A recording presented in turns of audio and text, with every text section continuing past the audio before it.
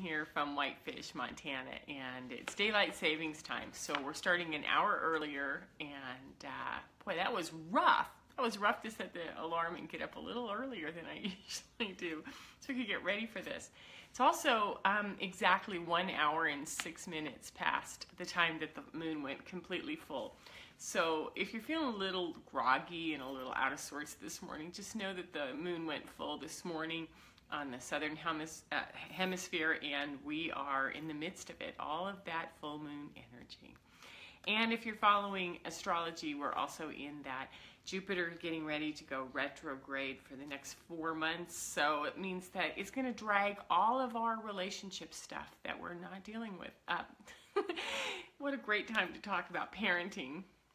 And for those of you who've worked with me before in the past, I am a coach and I love to focus on those of us who parent because when we're parenting, we're taking care of ourselves, we're taking care of our partner, we're running our business or our job or doing whatever else we do for ourselves. And then we also have these children that need attention from us. And it's really interesting to watch how we decide to juggle that and whether it works or doesn't work. And, you know, parenting's always a challenge. So it's not a direct focus on parenting, but it is definitely what happens when we're responsible for someone else. So this topic has been driving me lately. Um, I work for therapeutic programs, and a lot of the parents are in that Generation X uh, with uh, get older and younger millennials. So I thought that we would focus today on Generation Xers and what they're like as parents. So the historian in me, of course, is going to start with sort of let's get a perspective of what Generation X is. So according to the um, you know, Wikipedia, doing my online research.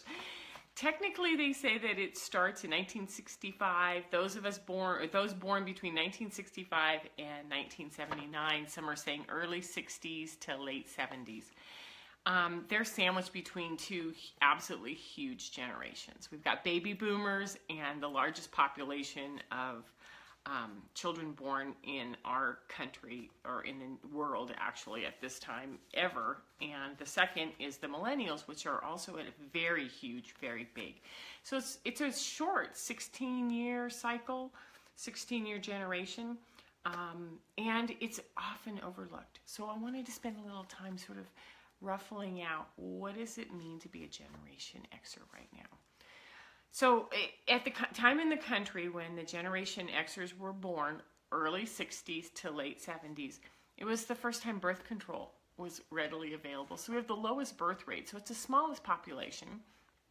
Um, it's also the population where divorce rates started to climb and marriages were not lasting and um, children of divorce started to, to become a very predominant thing in the school districts, in the school systems. Um, women went to work it was the first time with Title IX, with athletics, with college education, with everything, where women went back to work. And we have the largest population of women contributing to the workforce ever before, uh, historically before that, um, women usually stayed home or co-worked on a family farm or whatnot, but definitely not leaving the house, um, putting their children in childcare, or even saying, hey, you're old enough now. When you get home from school, let yourself in and I'll be home around five or six. So what we have is we have um, parents, uh, late stage baby boomers who are starting to have some freedoms. They're starting to recognize I don't have to stay in a marriage that doesn't work. I want to I want to make my own income. I have skills and I'm ready to get out there. And the generation of children born during that time are technically neglected, parentally neglected, um, and even educationally neglected. It's kind of an interesting way of seeing it. Um, let's see, they were latchkey kids. Latchkey is the term, latchkey MTV, the John Hughes kids. There's all sorts of stories and, and nicknames that they use for this. Um, they grew out without, they grew up without a parental presence. Parents were distracted. They were remarrying. They were having sex. They were doing their jobs. They were putting their heads down, and kids were like, they're going to be fine. They're going to be fine. And they were neglected. Um, this is also the time when it was like the fast food nation. It's uh, here, here's Stouffer's. At least it's a home cooked meal. It's frozen, but I'm going to heat it up and we're going to eat. I'm going to bring home a pizza. You're going to eat Chef Boyardee out of a can or chili or whatever. And it was the time when, you know, table time and meal wasn't really happening as much. And there wasn't that connection and that. Um, that family value system that was started by the baby boomers. So they were kind of scattered all over the place. I love that it's John Hughes because that's Breakfast Club. That's 16 Candles. That's everything that tells you that these kids. And have you ever noticed there's never any parents in any of these movies? It just makes sense to me. That's like the complete absence of parents. Um, this was also the first generation to um, implement all of the integration rules that that started after the civil rights issues. And so what we have is we have changes in the schools, we have um, the Cold War going on, we even have 9 11. So these things are just catastrophic. So when we're focusing on the Generation Xers, I'm going to go to Psychology 101 and read the best statement I found online over this last weekend. If you want to know what's unhealed in your life, have children. have children as you are raising your children, you will begin to adapt and adjust what you felt you were missing, what you felt was lacking, what is unhealed in you, and you will pass it on to your children. So, Generation Xers were the last generation with low tech. They were the ones who had bicycles and maybe TVs that worked. Um, I don't even think VHSs were that much into the process. Um, parking a kid in front of a TV was sort of starting to happen, but not a lot. Kids were still outside playing outdoors, walking home from school, playing in the playgrounds, and um, basically left on their own.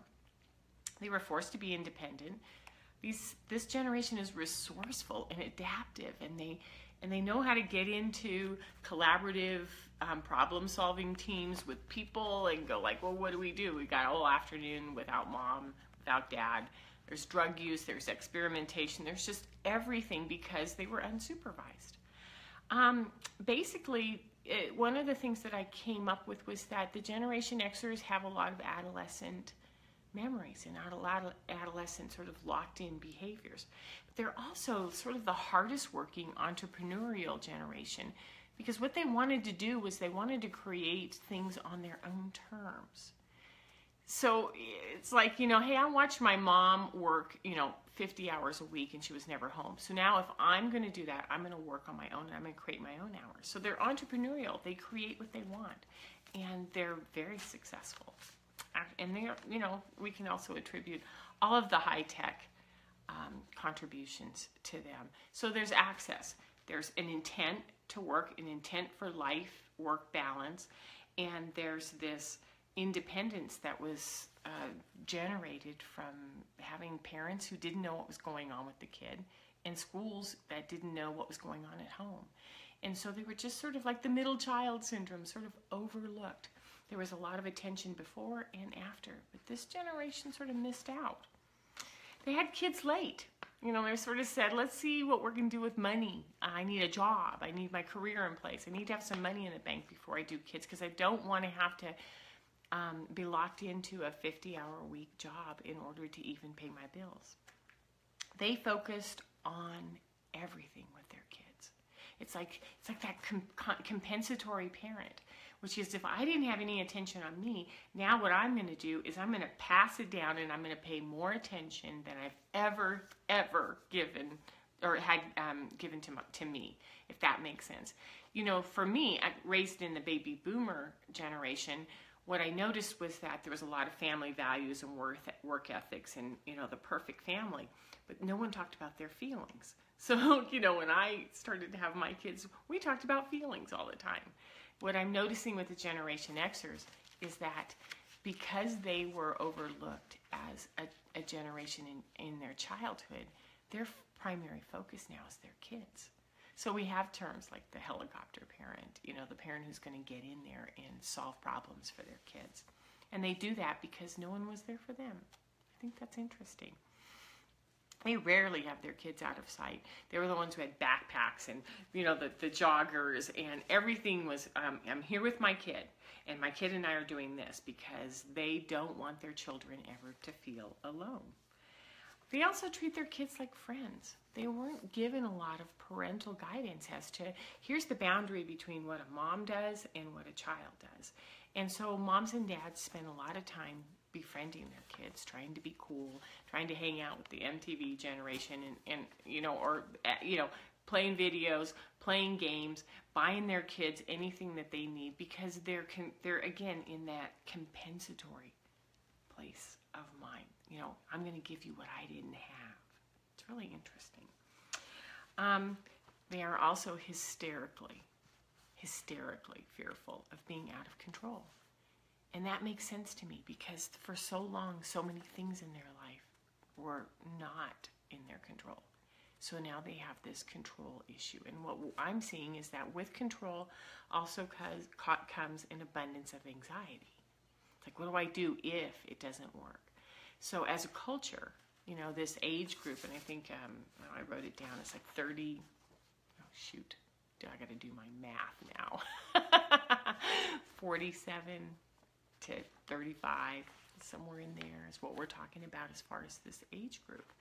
And and you know they just they, their control issues are huge, and it doesn't help that we have all of these television shows that have been sort of um, increasing over the last 10 to 15 years of kidnapping, you know, CSI, what happens, how, how killers destroy bodies with children and abduct them and do terrible things to them. And so what we do is we want to be hyper vigilant and watch our children and then be in control of everything that they do and help them out as much as humanly possible because no one helped them.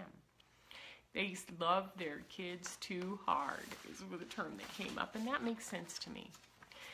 So I went through a couple of education sites and realized that there's been quite a bit written um, about from the teacher's perspective of if we have a compensatory parent, if we have a parent that's operating in fear, if we have a parent that's struggling to connect and hold boundaries, you know, this brings an entire new um, development into the school systems. We also have parents who are technologically savvy. They can research and provide anything. They can do PowerPoints. They can they can fundraise. They can make things happen, and they can scrutinize. So they're looking at curriculum and they're looking at grades and they're looking at teachers' um, histories and they're starting to ask questions with those little entrepreneurial minds of theirs, and they can be quite involved in their children's lives in coaching, in schools, and everything. So I found a, a site on um, edutopia.org, um, an article written by Susan Gregory Thomas. And she said, with Generation X parents, the most important thing that you can do is give them direct eye contact and listen to them. They want to be seen, they want to be heard, they want to know that they matter and that they're triggered in their childhood a lot. So, how do we listen to them, make them feel like they're a really good parent that they're involved that they that that they're not neglecting their child but they need to sort of slow down and back off a little bit. But most important these are loyal parents. They want so listen to them ask them questions. They're going to want to learn. Number two include them. Give them assignments. They want you know they're already doing all of their kids work so so get in and give them assignments on their own Give them introspection stories to share, things that they can do. Um, even if it's parent child involvement work, give them work to do, involve them. Um, give them projects. They know how to do this. I, I know that part of the most amazing thing when I was raising children um, in Bend was how many parent volunteers were available and what they could do and what magical things they could do when they put their heads to it, whether it was fundraising or making a uh, building a new playing field at the school or whatever. And then give them limits. They need boundaries. They need um, clear communication.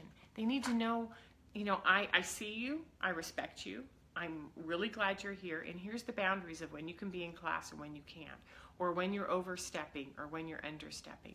And so, what we are really looking at today as parents who are Generation Xers is that they're operating from a form of increased independence and neglect, and they're also hyper vigilant on their children, which is what we're seeing in a lot of the critiques coming in from the millennials. So I hope this information is interesting. To me, it brought out a lot of a lot of compassion that this latchkey kid is creating a world from scratch without a lot of information, and they're doing the best job that they can, and they're taking some hits, and they're also some of the most the smartest, most entrepreneurial, most successful generation we've had in a long time, even for that small little bit. So if you're Gen Xer, if you're struggling with understanding how you are as a parent, or if you just want support as a coach um, from a coach, give me a call. My name is Denise Dryden. You can find me on denisedrydencoaching.com. And uh, have a great Sunday. Have a great day. Thanks. Bye bye.